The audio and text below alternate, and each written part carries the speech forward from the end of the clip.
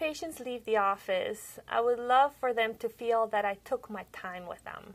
I know our time is limited, but even in a short amount of time, we can make that connection so that they feel that your issues, their problems were heard, and that we have an action plan. One particular thing that I really enjoy about my patients, especially the Hispanic patients, is that when they walk into the room and they start talking to me in English, even though they're doing a really good job, I can tell that maybe it's a second language to them. I switch to Spanish and a little sparkle goes in their eyes because they can tell that not only do I speak the language, but I also understand them at a much deeper level and they can get their point across much better. What I would miss the most about not practicing medicine is not having that challenge about taking care of the patient. I see patients as a large puzzle and they give me puzzle pieces and my challenge is to find the puzzle pieces that are missing to put the whole puzzle together and solve their problem.